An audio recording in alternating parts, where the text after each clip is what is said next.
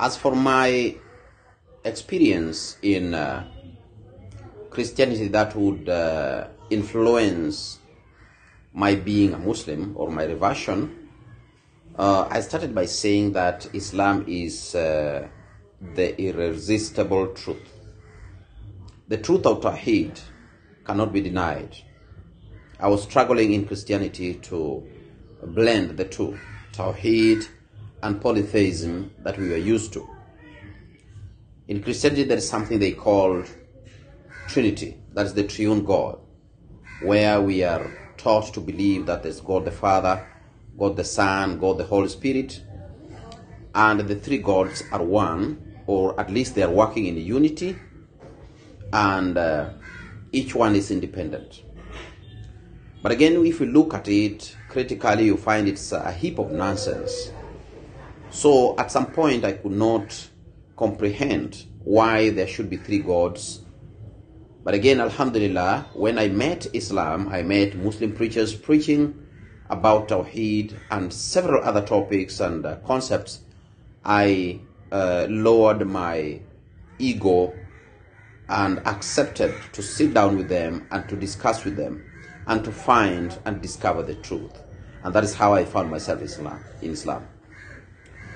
Uh, the fact that Tawheed was actually the irresistible truth that I first met, it is very, very easy to explain that God is one than it is to explain that gods are three. So the concept of Tawheed is actually very, very simple and it is the backbone of Islam. And that particularly made me become a Muslim alongside several other concepts.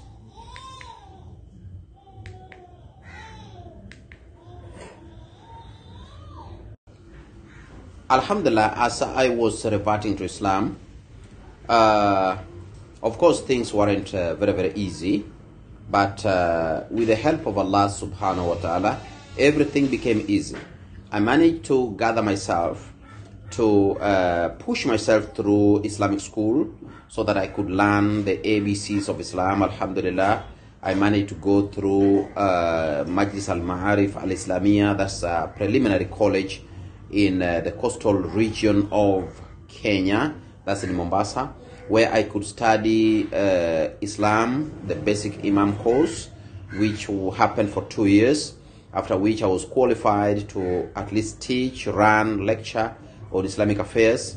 And then after that, I engaged myself in Dawah for uh, the longest time possible, Alhamdulillah, until I met a friend, a Yemeni friend, who uh, managed to uh, take me through uh, uh, another another advanced course on Dawa, the Kaifiyat to Dawa, that is Uslub Dawa.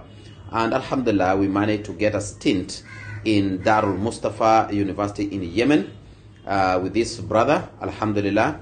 Uh, thereafter, we managed to get an admission in uh, a college in Kenya called Umma University College, but I didn't uh, be there for long because I had to look for another alternative, and the alternative was to find a suitable Islamic education that would help me in my future dawah, and that's how I ended up in Azhar University in Egypt, where I did my faculty of dawah, alhamdulillah, which is actually really helping right now as I do my dawah every single moment. Alhamdulillah, I must thank the Muslim community for the massive support that I got uh, as I was going through all these uh, uh, experiences.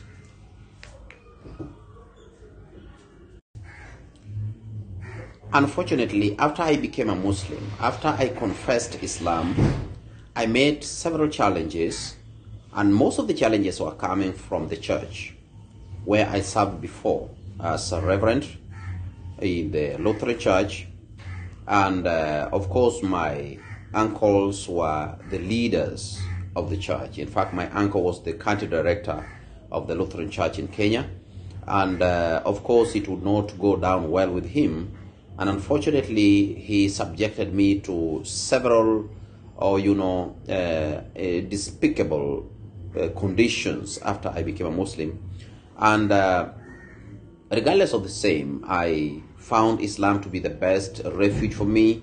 I didn't care what I was going through. Alhamdulillah, I held strong to Islam, to the, my new faith, and Alhamdulillah, uh, it was the best that one could have at that particular moment.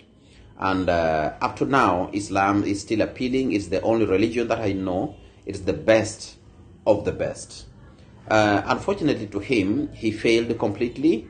Uh, he thought he would lure me back to Christianity, to church, by so subjecting me to uh, horrible conditions, uh, arrests by the police, uh, jail, you know, being subjected to jail without even trial and all that. But Alhamdulillah, I managed to overcome all that and I maintained my Islam. Eventually, they kept quiet. They never bothered with me again. They left me to go my own way. They left me to practice whatever religion I was practicing. And right now, as we speak, they are my ardent supporters. Right now, as we speak, they are my ardent supporters because they have seen what Islam is. I did not respond wrongly to them. I never responded with, uh, you know, uh, abuses or uh, hate or despise, but I responded with kind heart, with humility that Islam taught me. And Alhamdulillah, it has really fought for me. So right now, most of them are now my supporters. They love Islam. Some of them are now becoming Muslims. And Alhamdulillah, that's what I like most. Assalamu alaikum wa rahmatullahi wa barakatuh. Alhamdulillahi rabbil alameen. وصلى الله وسلم وبارك على من لا نبي بعده رب اشرح لي صدري ويسر لي أمري واحلل عقدة من لساني يفقه قولي. سبحانك لا علم لنا إلا ما علمتنا إنك أنت العليم الحكيم. وبعد. To my brothers and sisters, Alhamdulillah, it's another beautiful time that we may want to share a word or two. I would want to talk to you about my reversion as uh, been requested by a number of people who may want to know how I reverted to Islam. Uh, this is a beautiful moment when we can, uh, you know, share that. I reverted to Islam in the year 2005 at an age of 27. I reverted to Islam when I was 27 years of age, Alhamdulillah. And right now I am 41. So you can just imagine how long I have stayed in Islam, Alhamdulillah. And uh, a number of reasons, uh, you know, occasioned me to become a Muslim. A number of reasons. But one of the principal reasons is that Islam is irresistibly correct.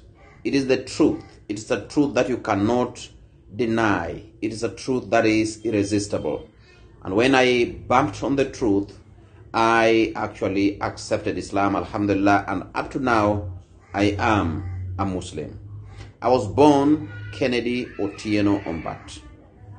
My Christian name was Kennedy Otieno Ombat. But Alhamdulillah, after version, I assumed the name Omar al Bashir. So right now, I am Omar al Bashir. I am a Kenyan. I live in Kenya. I was born in the western part of Kenya or uh, the, the greater Nyanza province in a village called Kogana in Homa Bay County. This is a place that is predominantly inhabited by the Luo community in Kenya. And the Luo community uh, as a whole, they are diverse, found in Uganda, found in Tanzania, found in Ethiopia, found in Southern Sudan, found in the DRC. Uh, we are talking about over 10 million individuals speaking the language that I speak, speaking Luo. So I was born a Christian, but later became a Muslim.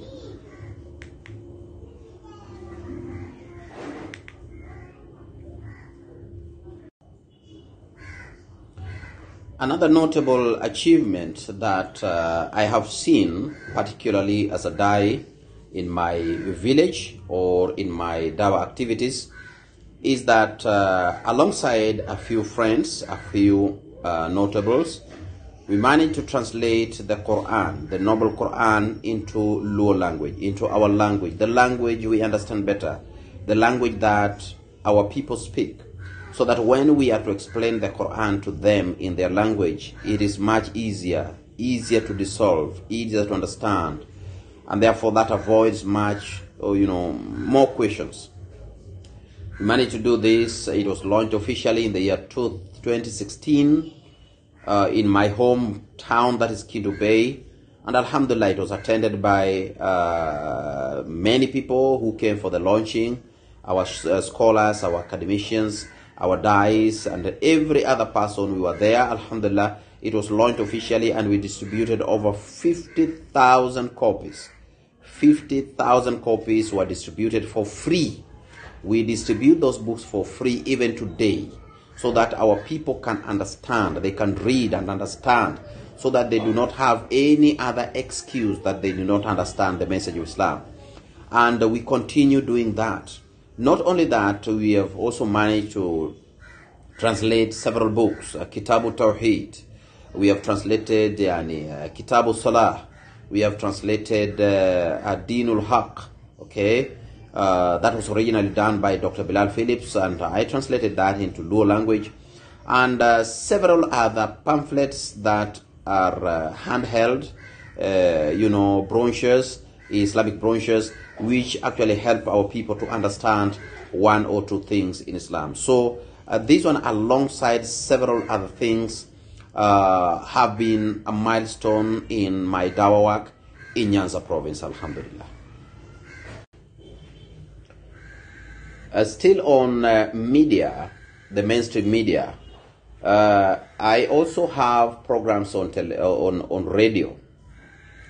Uh, in Nairobi, there is a radio station called Iqra FM. This is a premier Islamic radio channel uh, in Nairobi. So I also run a weekly program, program, a weekly live radio program called Ramein Mario, yani the torch okay, the torch, a spotlight for the truth. So I run this program. It's a live program. I have to be in Nairobi every single weekend so that these programs can, you know, uh, take place. I have to do this coming from my village in Nyanza, over 400 kilometers, just to come and record these programs and be in my TV show. So all these need a lot of support but as I said from the beginning, with or without support, Dawa must continue. That's what I know. So anybody who may be willing to extend his support to us so that we can do these programs, uh, you know, with ease are most welcome, inshallah. Uh, apart from that radio station in uh, Nairobi, there's another radio station in Kisumu. It's called Peace FM. Peace FM, I also have another program that is running every single week. It is called The Goodness of Islam. Okay, Mahasin al Islam. Mahasin al Islam. Uh, this, this is a program that I'm running there. It's a lecture program, 40 or 50 minutes of a lecture that is running in Peace FM every single week and with several slots of, of uh, uh, repeats along the way. So uh, these are some of the milestones that uh, I have seen in my Dawa programs in Kenya and Nyanza in particular. Yes, my brothers and sisters, Dawa has been actually enjoyable. There's nothing as good as something you do with passion. You like what you do. And Alhamdulillah, crisscrossing the country, crisscrossing my, my home area, you know, doing Dawa here and there is actually fulfilling and I feel good doing it, with or without support. Dawa is my lifeline. It is in my veins. Uh, some of the achievements, as I continue to enumerate, some of the achievements are I have been offered several chances in our local television stations where we do dawa to the Luo people. Uh, notably is Lolwe Television Network, where we do dawa in Luo language. I go speak to people in Luo language. Another television station is Ilm TV. Ilm TV is in Nairobi, uh, the capital city of Kenya, where I take them through the uh, art of dawa, the arts of dawa, how you do dawa, how to be successful in dawa. These are series that I'm running in uh, Ilm TV. And then there is another television station called uh, Horizon Television. This is the, the most premier television station in Kenya, an Islamic channel, and uh, which is widely known, widely watched. So I also do a program there called The Unfolding Truth. The Unfolding Truth, I bring non-Muslims to the studio and I talked to them and I try to convince them to be Muslims. Alhamdulillah, they are embracing Islam and they are enjoying the show and actually it is widely watched likewise. So this is also a milestone that we have in uh, the in, in, in, in media where the whole country can tune in and watch and listen to explanations that we do as we try to clear the misconceptions that are leveled against Islam by non-Muslims and other agnostics, inshallah.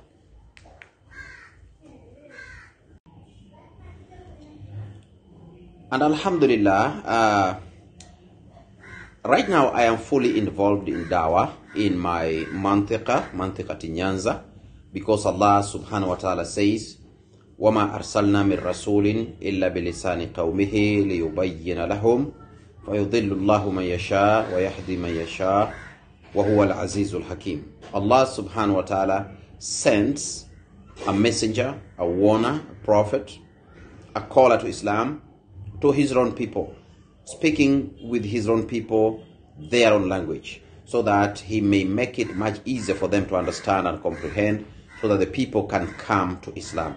That is what I have retreated to do, and that's why I left Mombasa, I left Nairobi, and I'm now, you know, based in Nyanza, my home area, my village where I do dawah, and Alhamdulillah, the result has been amazing and actually overwhelming.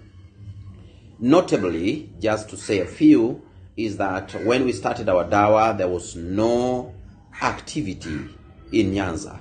But Alhamdulillah, after we started Dawa in Nyanza in my own language, I managed, with the help of a few, you know, like-minded brothers, we managed to convert five churches, which converted into masajid, and we are talking about over 8,000 people who have reverted to Islam in just one and a half years. That is, from the beginning of 2019 up to now, we have over 8,000 people who have reverted to Islam, who have changed from Christianity to Islam, who have changed their churches into masajid, and uh, the number keeps growing. And this is as a result of the fact that we make Islam understandable to them in their own language, the language they understand better, which is the Luo language. And the Luo language is a language that is spoken by over 10 million human beings in East and Central Africa. So this is one of uh, the you know achievements that I can note to my listeners that we managed to convert as many people as we could by the help of Allah and the fight still continues. We still need as many as possible. Dawah is not stopping. We are continuing with the dawah every single day, inshallah, until dust fill our mouths. And my brothers, as Muslims, you know very well that uh, the Prophet ﷺ was ordered to proclaim, to announce to every listening ear, to know that Allah subhanahu wa ta'ala says, قل هو الله أحد الله الصمد لم يلد ولم يولد ولم يكن له كفوا أحد Allah is one. Allah is one and the unique. Now this proclamation must be done by each and everyone who has the capacity to do it. Inasmuch as not all can do dawah, but at least you can do dawah in a way or another. If those gentlemen didn't go to the streets and proclaim Allah to be one and that He alone deserves to be worshipped, then I would not have gotten Islam. I would not have known the message of Islam. I would not have heard the message of Islam. But they went out that sunny, sunny day and they were burning themselves in the sun and I managed to find them preaching and that's how I managed to, to get the message of Islam. Now, you and I must go out and do dawah. Let's spread the message of Islam when you still have time to do it. Because when you are six feet deep, you are not going to do it. When you are sick, on your sickbed, you are not going to do it. We must do what we have to do to go out and do dawah. Or at least to support those who are doing dawah. Because if you love the Prophet ﷺ, then you have no option but to do what he said. And what did he say? He said. Go out and deliver on my behalf, even if it ought to be only one verse only one hadith, only one saying, only one act of goodness. Just go out and deliver this on my behalf. And if you do that, you shall have helped the Prophet. But if you don't, you're sleeping on the job. And it is not good for me, it's not good for you. Let's do dawah when we are still Muslims. Let's do dawah when we are still able to do that. Let's do dawah when Allah subhanahu wa ta'ala has still, you know, some time and purpose for us on earth. Otherwise, it's going to reach a time when it's not going to be possible and you only have yourself to blame. Assalamu alaikum wa rahmatullahi wa barakatuh. And lastly, as I conclude, uh, a lot can be achieved if we were to hold hands together. Allah subhanahu wa ta'ala says, وَاعْتَصِمُوا بِحَبْلِ اللَّهِ جَمِيعًا وَلَا تَفَرَّقُوا Hold your hands to the covenant, to the rope of Allah subhanahu wa ta'ala, وَلَا تَفَرَّقُوا and never be divided. Now always div- uh, divided we uh, are weak. When we are divided we scatter around and we are weak. But uh, when we are together, we stand firm and we are very strong. That's the only way we can overcome. Dawa needs you. Dawa needs me. Dawa needs him. Dawa needs her. Now we, now, we need to come together and do what we have to do. Now in Dawa, it is, uh, as I always say, it's like a relay race. The person who has started the heat, okay, if it were to be a 4 by 4 relay race, the person who started the heat doesn't complete the heat. It's handed the baton is handed over to the second person who is going to hand over to the third person and the fourth person is going to complete the heat. So it's always a, a relay race now if i am to go down there and preach to these people and alhamdulillah they embrace islam they become muslims it is actually hard especially without resources that i again be the same same person to teach them the same person to build them masajid the same person to do everything to them Yet Dawa also needs me to go here and there. And you know, I'm crisscrossing Nyanza. Nyanza is wide. Nyanza is very, very wide. I'm talking to around, I'm talking about around 6 million people or thereby. So Nyanza is wide. I cannot, you know, crisscross it alone and accomplish. So we have to be several of us. If you cannot come personally to help do Dawa, then you can send your money. You can send some resources to come and help do Dawa. So it is a relay race. I may just do the conversion, I convert people to Islam, Alhamdulillah, and I may want to show you where to build a masjid, where to build a madrasa, where to do this, where to, who to help to take to school, you know, to go and study Islam and come back and help me do that. I, I can only show you that, but I cannot finish everything myself. That means you need to be there. If you are not there physically, then you must be there monetarily, financially, so that our dawah succeeds. Otherwise, if I'm going to sit down and you are going to sit down and the other person is going to sit down, then Allah says in a verse that I always like to quote. He says, يا أيها الذين آمنوا من يرتد منكم عن دينه فسوف يأتي الله بقوم فسوف يأتي الله بقوم يحبهم ويحبونه عذلة على المؤمنين عزة على الكافرين يجاهدون في سبيل الله ولا يخاف proclaim announce to the Ahl al-Kitab in this case the Christians and the Jews. Tell them, we as Muslims, we are expected to tell them, to announce to them, to preach to them. تعالوا إلى كلمة سواء بيننا وبينكم. Can you please come to a common term, a common goal, a common issue between us and you as Christians or as the people of the book? What is this common term? Allah na'budu illallah. That we should not worship any other thing except Allah subhanahu wa ta'ala. I, I, I know you may be having uh, uh, several other names to call him. You may call him God. You may call him the Almighty God. You may call him Ruth Nyasai. You may call him Mwenyezi Mungu. You may call him Elohim. You may call him Yahweh. You may call him whatever you call him. But you know, we are res- uh, referring to one irresistible power, the only power behind creation. That is God Almighty. Call him whatever you want to call him. But we, in Arabic, we call him Allah. So when we talk about Allah, we are not talking about some Arab God. We are not talking about some Somali God or some Muslim God. We are talking about the power behind creation. Allahu Jalla Jalal. Now, the Prophet ﷺ is told to tell the Ahl al-Kitab, Ta'alaw ila kalimatin sawa'in bainana wa bainakum. Come to a common term between us and you. And the common term is, Allah na'abuda illallah. That we should not worship any other thing except Allah subhanahu wa ta'ala. ولا نتخذ بعضنا بعضا أربابا من دون الله and we should not actually pick for ourselves you know arbab you know these other demigods okay do not pick some angel to be your god like my fellow christian brothers picking uh, gabriel or the holy ghost they call him the holy ghost the holy spirit to be a god or a, a, a, a god in the, in the in the three sets of gods this, this is wrong you should not pick Omieri, as my people used to do, the Luo, the Luo people, they used to pick Omieri as snake to be a god. You should not pick some sort of a statue to be a god. You should not pick, you know, a, a, a fellow being that is Jesus or even the mother of Jesus, as the Catholics do and other denominations. They also do. They pick uh, the mother of Jesus to be a god, which is wrong. We should not pick some, you know, carving okay some some stone carving or tree carving and making a shape to be god. No that's wrong. We should only worship one and the only true god. And we should not ascribe partners to him. So anybody who is ascribing partners to god is actually doing a crime.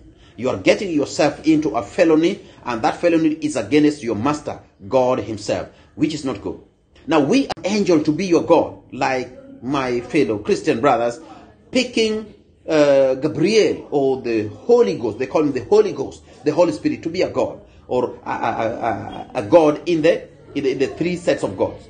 This, this is wrong. You should not pick Omieri as my people used to do, the Luo, the Luo people, they used to pick Omieri as snake to be a god. You should not pick some sort of a statue to be a god. You should not pick, you know, a, a, a fellow being that is Jesus or even the mother of Jesus, the Catholics do and other denominations. They also do. They pick uh, the mother of Jesus to be a god, which is wrong. We should not pick some, you know, carving, okay, some some stone carving or tree carving and making a shape to be God. No, that's wrong. We should only worship one and the only true God, and we should not ascribe partners to Him. So anybody who is ascribing partners to God is actually doing a crime. You are getting yourself into a felony, and that felony is against your master, God Himself, which is not good. Now, we as Muslims, we are expected to preach to you. تعالوا إلى كلمة سواء بيننا وبينكم ألا نعبد إلا الله that we should not worship any other thing except Allah ولا يتخذ بعضنا بعضا أربابا من دون الله and neither of you not a single person should, should pick anything other than God Himself.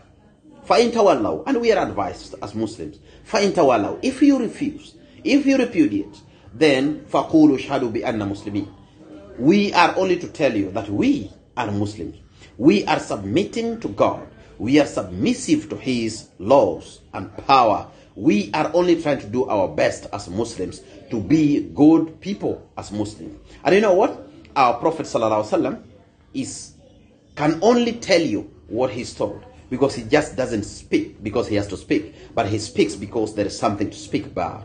And that's why Allah subhanahu wa ta'ala says, وَالنَّجْمِ إِذَا هَوَى مَا ضَلَّ صَاحِبُكُمْ وَمَا غَوَى وَمَا يَنطِقُ عَنِ الْهَوَى إِنْ هُوَ إِلَّا وَحْيٌ يُوحَى عَلَّمَهُ شَدِيدُ الْقُوَى Our Prophet sallallahu alaihi wasallam never speaks because he must speak. No, he speaks because there is something to speak. And that's why we are speaking because there is something to speak, to speak to you. There is something to contemplate about today. And that something to be, to be contemplated upon is this verse. Never ever worship any other thing except Allah subhanahu wa ta'ala.